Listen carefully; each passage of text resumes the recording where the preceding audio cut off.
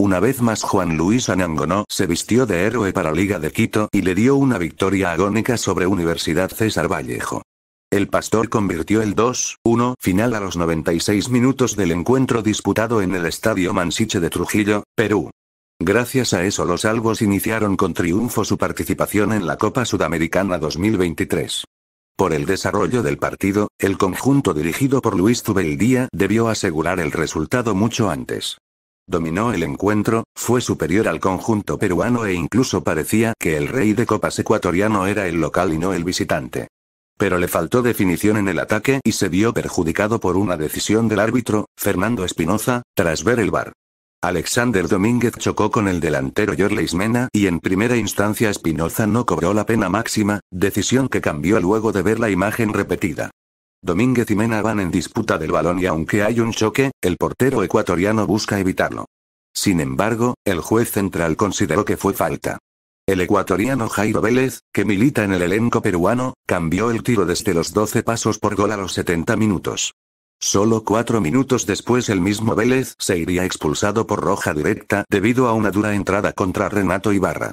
Tras el tanto, Liga quiso seguir en búsqueda del gol de la victoria, a pesar de ser el visitante no se conformó con el empate. Algo que extrañamente sí se notó en César Vallejo, club que es dirigido por el uruguayo Sebastián Abreu. Los locales se replegaron atrás y esperaron a los albos para jugar al contragolpe, pero no tuvieron ninguna opción de gol. Los minutos pasaban y Zubeldía no se rendía, a los octogésimos séptimo ordenó el ingreso de Juan Luis Anangonó.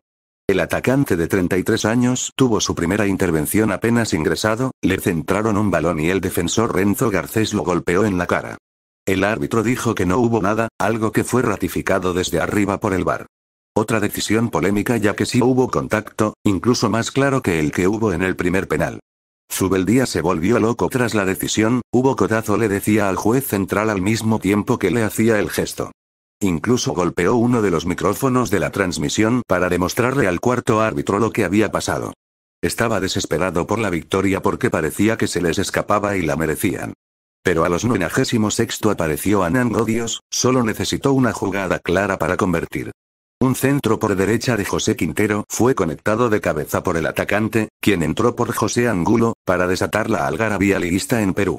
Con este resultado, Liga de Quito se pone como primero del grupo A de la Sudamericana con tres puntos más uno de gol diferencia.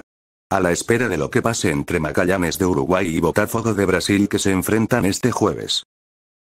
Las imágenes del DT de Liga dieron que hablar y casi no fueron advertidas por el juez Fernando Espinoza, quien solamente lo amonestó ante una serie de reclamos.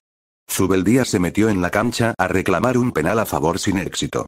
No contento, el ex DT de Lanús y Barcelona, entre otros, le dio un codazo al micrófono ambiente para recrear la polémica. Enseguida, advirtió que no había estado bien su accionar y se disculpó por su protesta al referir y esperó la decisión del VAR. No se lo dieron y cuando parecía que el duelo copero finalizaba en empate por los tantos de Jairo Vélez y Lisandro Alzugaray, un gol agónico de Juan Anangonó desató la locura del entrenador que buscó días atrás Juan Román Riquelme para Boca. Se sacó la gorra y festejó con todo el 2-1. Pasaron muchos días desde que Julio Falcioni, entrenador campeón con el Xeneize en 2011 y 2012, aconsejara a sus colegas el desafío de dirigir a este club gigante. Club que, tras la salida de Hugo Ibarra, se encuentra en la búsqueda de un entrenador. La negativa de Gerardo Martino, el plan A, puso a Juan Román Riquelme a buscar opciones, incluso, en entrenadores que están con trabajo. Pasó con Facundo Saba, Cerro Porteño, Diego Martínez, Tigre, y ahora, el nuevo apuntador fue Luis Tubeldía, de Liga Deportiva Universitaria. Quien salió en su defensa, y se opuso firmemente a la idea, es Esteban Paz, dirigente a cargo del fútbol de los Albos. Luis está muy enfocado en liga. Tiene contrato hasta fin de año. Lo llamó Independiente de Avellaneda y rechazó la oferta. No tengo conocimiento de un llamado de boca, expresó en Radio La Red, de Argentina. Aunque suene tentador, y si el llamado de Román existió, Zubeldía está comprometido con las ilusiones de liga en este año. El entrenador regresó al club hace justo un año, para un segundo ciclo, había estado entre 2014 y 2015. Y si bien los resultados no fueron los esperados, hubo renovación por otra temporada y el plantel se reforzó a correr para dar el golpe, sea local o internacional, y la temporada recién comienza,